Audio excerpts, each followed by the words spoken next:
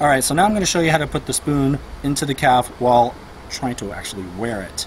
Uh, basically, I need to do this while sitting down. Um, you want to put your foot through it backwards so you get more room. Okay. At that point, that's when you actually want to put your boot on as well.